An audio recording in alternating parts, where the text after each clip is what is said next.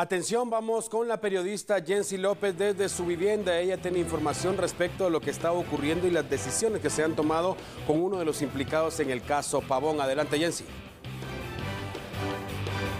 Buenas tardes compañeros, efectivamente la jueza de ejecución Coralia Contreras le otorgó una medida sustitutiva al ex jefe de la Policía Nacional Civil, Víctor Hugo Soto Diegues. Él fue condenado en el año 2013 a 36 años de cárcel por el caso Pavón. Recordemos que a él se le acusó de la ejecución extrajudicial de al menos 10 privados de libertad entre los años 2005 y 2006. En este caso, la juzgadora le otorgó esta medida para que pueda salir de prisión debido a que él se encuentra en riesgo ante el COVID 19, puesto que padece de hipertensión y también anteriormente sufrió un derrame cerebral, por lo que la jueza toma la decisión de otorgarle esta medida sustitutiva para que pueda dejar la cárcel. Recordemos que actualmente está pendiente de que se lleve a cabo la audiencia de primera declaración en contra de Soto Diegues por otro proceso penal. Se trata del caso El Infiernito, en donde se les indica de tres ejecuciones extrajudiciales y dos hechos de tortura.